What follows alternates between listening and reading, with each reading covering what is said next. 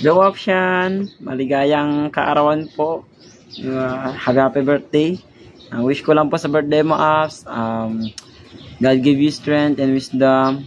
And matupad mo po yung mga pangarap mo sa buhay.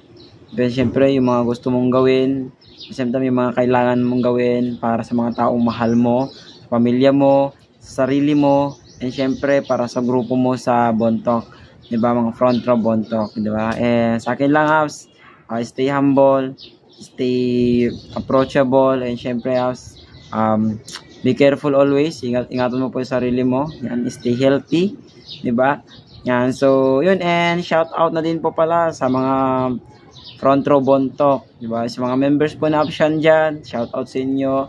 Na magandang umaga, magandang araw, di ba? Sa akin lang actually um grabe guys, wala na akong masasabi sa upline nyo.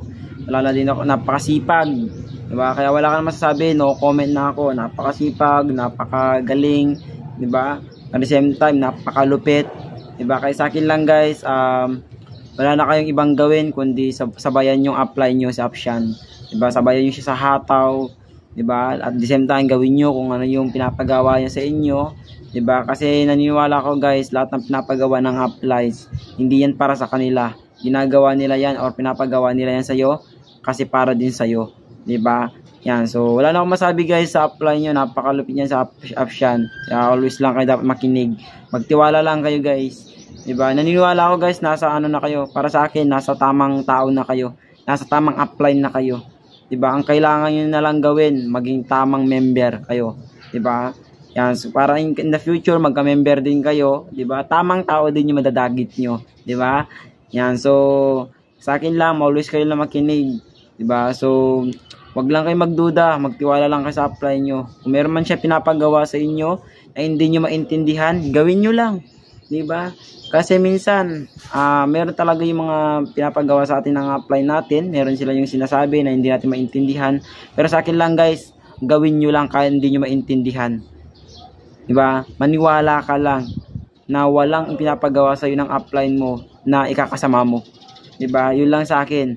Diba? Sabi nga nila eh, obedience is better than understanding. Sometimes obedience is better than understanding.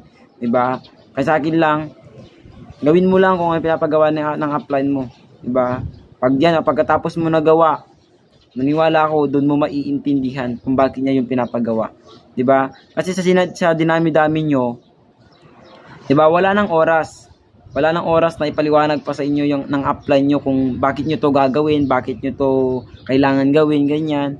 Diba? Wala nang oras actually guys. Kasi pag ginawa niya pa yon matatagal lang, matatagalan, matatagalan lang po yung resulta nyo. Diba? Kaya pag meron siyang pinagawa, magtiwala lang kayo, gawin nyo lang, 'di ba? And syempre, alam ko guys, uh, mahal na mahal kayo ng upline nyo. 'Di ba? Isipin mo nung last na pumunta ako diyan, 'di ba? Grabe yung nangyari sa mata niya, 'di ba? Pero station pa rin, nandun pa rin, 'di ba? Na naka-ready pa rin siya, 'di ba? Ready to hataw pa rin, 'di ba?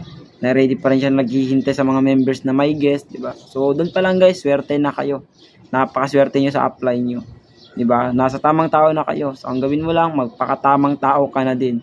'Di ba? Gusto mo ng agila, magpakaagila ka. 'Di ba? Gusto mo ng tamang tao, magpakatamang tao ka. 'Di ba? Yan kasi hindi mo kahit kailan hindi ka makakadagit ng tamang tao kung ikaw mismo hindi ka pa tamang tao. 'Di ba? So kaya sa akin, uh, kung gusto mo pa mag, mag, mag gusto mong gumaling, kung gusto mong mas bumilis yung resulta mo, 'Di ba? Dikit ka lang sa upline mo. Dikit ka lang, expose mo niyo lang yung sarili niyo kay option. 'Di ba? Kasi yun lang yung walang sikreto, guys. Yun lang yung sikreto.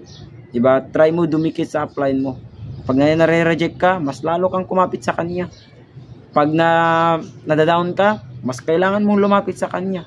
'Di ba? Kasi yan lang ang tao makakatulong sa iyo. 'Di ba? Kaya sa akin lang, wag yung bigyan ng sakit ng ulo yung upline nyo. 'Di ba? Kasi nag-iisa lang 'yan, guys, 'di ba? Mawalan ka man ng member, okay lang yan. Importante, mas mahirap pag mawalan ka ng upline. 'di ba? Yes guys,